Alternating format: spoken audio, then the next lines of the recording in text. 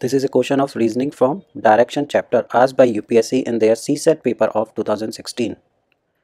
A person walks 12 kilometers due north.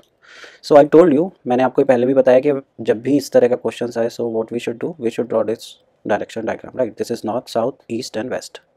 now it will be very easy to solve these questions now the person is saying that a person walks 12 km north suppose the person was here so he is going in the north directions right so he is going north direction 12 kilometers.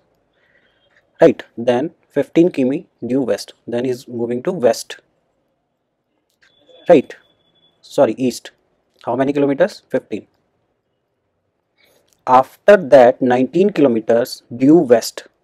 Now after reaching here he goes to west. How many kilometers? 19 so 15 is this much and then 4 total is 19 so he's reaching here. And then 50 kilometers due south. So south is here. So he's going in the south. How many kilometers? 15 right. So this is 15 and he reached here. How far is he from the starting point? So now he's asking the starting point was here. So this distance this dotted distance we have to find out. Right. So this distance will be 4 right. Because 15 is this much.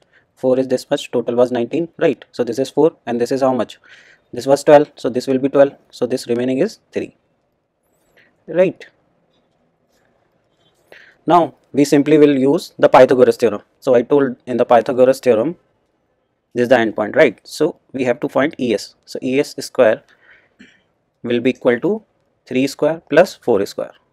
So this will be 9 plus 16 this will be 25 so ES will be square root of 25 so this is equal to 5 so 5 kilometer so the answer is option A so this is the answer right so in direction question अगर आपने देखा हो ज़्यादातर में हम we are using Pythagoras theorem right so आपको Pythagoras theorem बस पता होना चाहिए एंड आपका क्वेश्चन हो जाएगा